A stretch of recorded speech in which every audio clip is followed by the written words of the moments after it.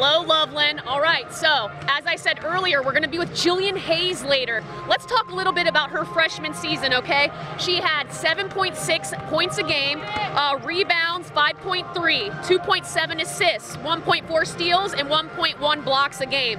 The cool thing about Jillian is she was actually ranked number one on the Bearcats squad last year with 34 steals, okay? She was in third for points, rebounds, and blocks. How unreal is that for your first year as a Bearcat? Uh, she did rank among the league as well. She was 11th and 13th and 14th in those stats. So we're more than excited to get here with Miss Hayes after the game. Of course, we do want to win, but like I said, we know she's going to crush it today.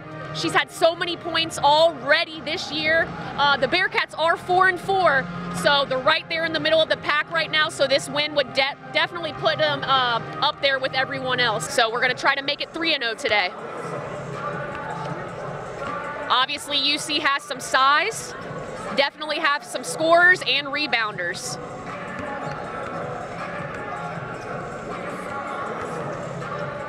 All right, guys, it's coming down to the final countdown. About three and a half minutes till game time.